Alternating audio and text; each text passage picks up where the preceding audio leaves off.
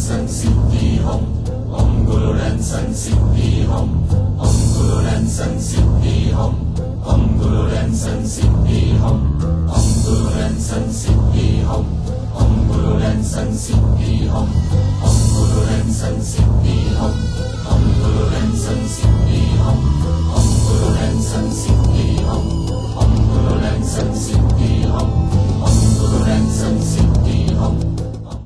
那我们今天呢，讲这个常乐我净。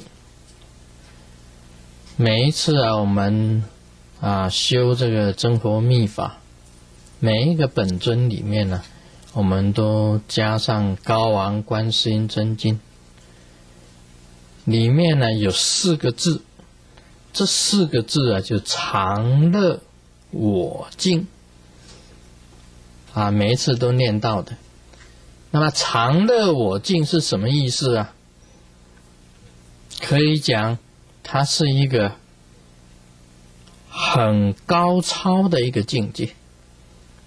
这个境界呀、是必须要修持啊，到了某一个程度以后啊，你才能够真正进入常乐我净。《高昂观心真经》里面呢、有这四个字，啊，可见这个这一部经啊，已经到了常乐我净的这个境界的。那我们这个读经典呢、就是要深入经藏，知道每一个字它本身的这个意义。我们啊谈呢。这个三个方法，其实密教里面呢，也一样有教到这三个方法。昨天我们也谈到这三个方法，第一个是止，啊止，止的意思啊，就是把一些不好的念头给它止掉。甚至于你一切的行为啊，不当的行为啊，都给它止掉。这是修行的一个方法。那么第二个是转，就是把这种念头给它转化，转化。那么第三个呢，就是随。什么叫做随呢？有一个比喻啊，讲的啊很好。就是儿童观画，小孩子去看这个图书馆里面呢、啊到博物院里面去看那些画，很多的画，他就是走过看那些画，儿童观画就是随，好像我们呢、看这个河流的河水在流。我们看着河流的河水，这个河流的流水啊，代表着种种的妄念。你自己本身在河流之外，而妄念在前面流，你看着它，这个是水。啊，这个水法是很高超的，我已经讲过了。大圆满法就是水法，禅宗就是水法。这个你能够清楚的看着河流妄念在前面流，而不深入其中，这个就是顿超。顿超超越了所有的妄念跟烦恼，要达到这个常乐我净啊，止法，你知道吗？你把这个妄念跟烦恼一禁止的时候啊，会出生。产生什么样子的境界？这个境界叫做空，空的境界，一止呢就没有了。妄念一停止，不是变成空吗？变成空吗？那变成空的这一种虚空的境界里面呢，从这个虚空里面呢，才能够产生一种快乐的。这是一个修行的方法。另外还有一种转的方法，观呢、密教里面教你用观想，就是转化。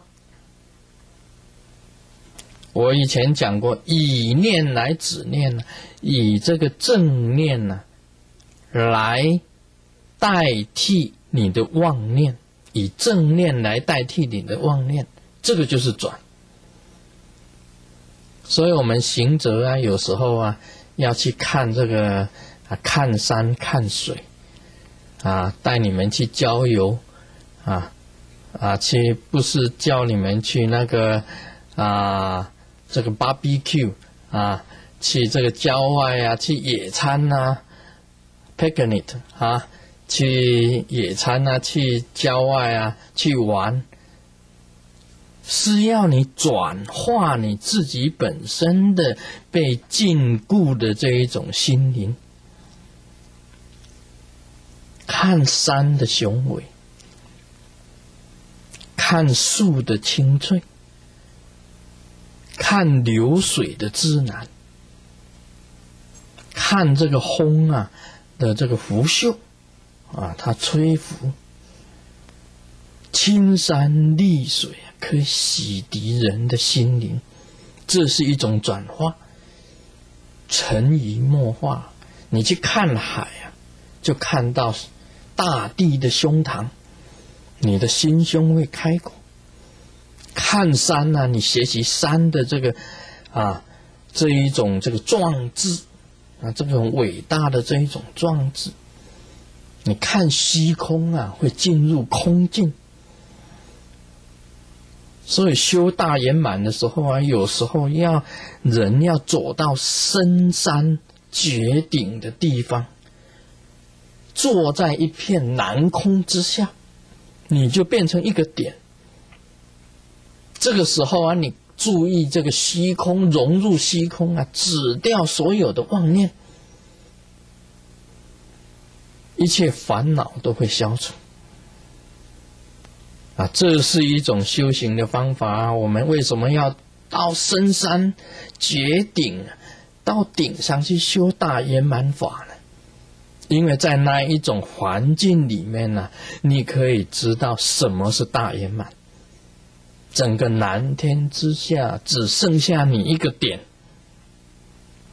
所有的俗力啊，全部归于山下，一望无际的山脉，一望无际的虚空。这时候啊，你要止掉你的这个俗力啊，跟妄念呢，是比较 easy 的，比较简单的。这是一个方法，所以修大圆满呢，要深山绝顶啊。他的意思就是在这里，隔掉所有的俗力。那么观呢，就是转化。我们平时在家里修，只能够用观的方法去做，用观的方法去做。那么止跟观呢，有什么好处呢？世界上的烦恼啊，都是来自于相对。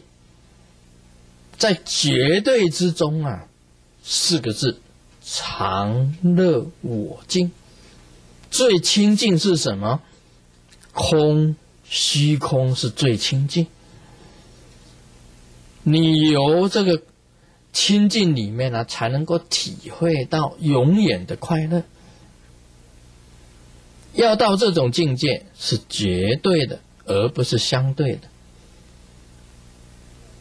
所以在这种境界里面，常乐我净里面呢，没有是非的，没有是非的，没有好坏的，没有好坏的。你有好坏的观念，有是非的观念呢，有善恶的观念产生出来的话，你就一定有烦恼的，你就一定有烦恼的。当你进入绝对的虚空的时候完了领会到。佛菩萨的大圆满的智慧的时候，那个时候才是大圆满的常乐我净。这个让你好感觉上是好像是一种理论，但是你也可以修到这个样子。每一个人都可以修到这种境界，常乐我净的境界。啊，这个境界呀。是非常微妙的。今天谈到这里，Om Mani Padme Hum。